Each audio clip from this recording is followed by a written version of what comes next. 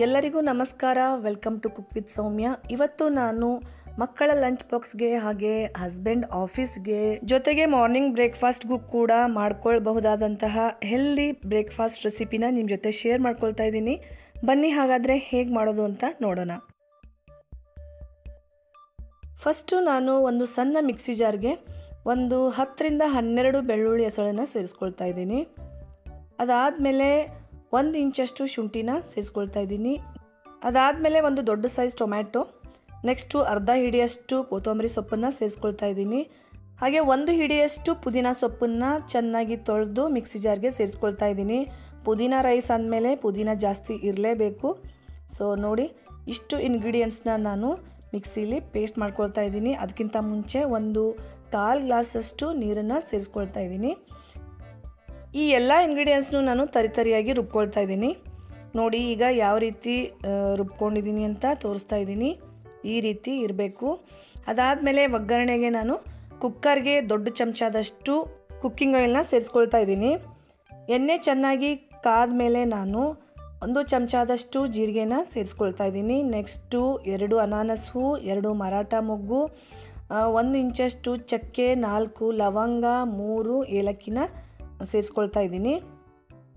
ಚೆನ್ನಾಗಿ ಫ್ರೈ ಮಾಡ್ಕೋಬೇಕು ಎಲ್ಲ ಮಸಾಲ ಐಟಮ್ಸ್ನು. ಅದಾದಮೇಲೆ ಒಂದು ಐದರಿಂದ ಆರು ಪಲಾವ್ ಎಲೆನ ಸೇರಿಸ್ಕೊಳ್ತಾ ಇದ್ದೀನಿ. ನೋಡಿ, ಲೈಟಾಗಿ ನಾನು ಫ್ರೈ ಮಾಡ್ಕೊಳ್ತಾ ಇದ್ದೀನಿ ಎಲ್ಲ ಐಟಮ್ಸ್ನು. ನೆಕ್ಸ್ಟು ಒಂದು ಐದು ಹಸಿಮೆಣಸಿನ್ಕಾಯಿನ ನಾನು ಉದ್ದುದ್ದಕ್ಕೆ ಕಟ್ ಮಾಡಿಕೊಂಡು ಸೇರಿಸ್ಕೊಳ್ತಾ ಇದ್ದೀನಿ.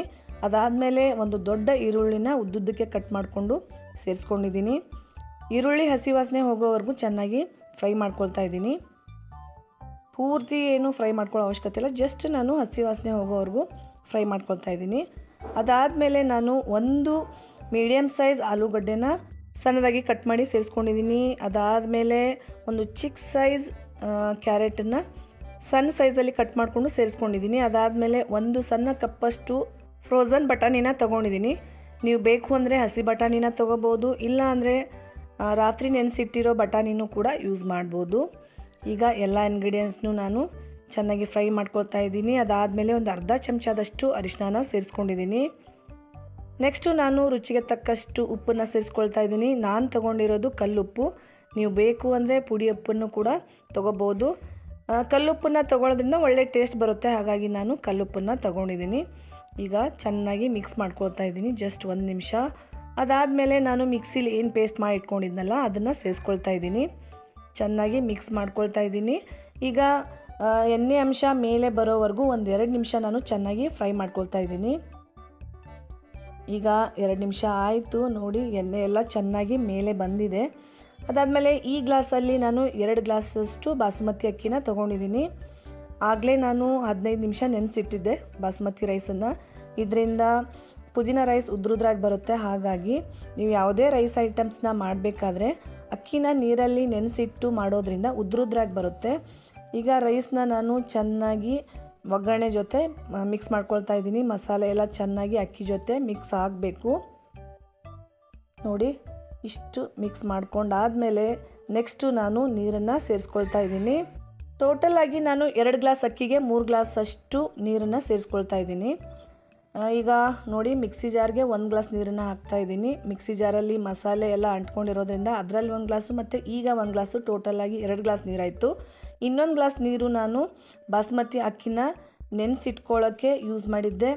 ಅಕ್ಕಿ ಎಲ್ಲ ಕರೆಕ್ಟಾಗಿ ನೆನೆದಿತ್ತು ಒಂದು ಗ್ಲಾಸ್ ನೀರಲ್ಲಿ. ಸೊ ಟೋಟಲಾಗಿ ಮೂರು ಗ್ಲಾಸ್ ನೀರನ್ನು ಹಾಕಿದ್ದೀನಿ. ಸೊ ಈಗ ನಾನು ಮೂರು ವಿಜಲ್ನ ಕುಗಿಸ್ಕೊಳ್ತಾ ಇದ್ದೀನಿ. ಸೊ ಸ್ನೇಹಿತರೆ, ಈಗ ಮೂರು ವಿಜಲ್ ಕುಗಿಸ್ಕೊಂಡಾದಮೇಲೆ ಕುಕ್ಕರ್ ಕೂಡ ತಣ್ಣಗಾಗಿದೆ. ಬನ್ನಿ, ರೈಸ್ ಹೇಗೆ ಬಂದಿದೆ ಅಂತ ನೋಡೋಣ. ಒಳ್ಳೆ ಘಮ ಬರ್ತಾ ಇತ್ತು. ಪುದೀನ ರೈಸ್ ಅಂದಮೇಲೆ ಪುದೀನ ಘಮ ಬಂದೇ ಬರುತ್ತೆ. ನಿಮಗೆ ಗೊತ್ತಾಗ್ತಾ ಇರ್ಬೋದು ಎಷ್ಟು ಉದುರುದ್ರಾಗಿ ಬಂದಿದೆ. ನೀರು ಕೂಡ ಪರ್ಫೆಕ್ಟಾಗಿ ಕ್ವಾಂಟಿಟಿ ಕರೆಕ್ಟಾಗಿದೆ ನೋಡಿ, ಎಷ್ಟು ಚೆನ್ನಾಗಿ ಉದುರುದ್ರಾಗಿ ಬಂದಿದೆ ಅಂತ ನೋಡಿದ್ರೇ ಗೊತ್ತಾಗ್ತಾ ಇದೆ. ನೀವು ಕೂಡ ಈ ರೆಸಿಪಿನ ಆರಾಮಾಗಿ ಟ್ರೈ ಮಾಡ್ಬೋದು.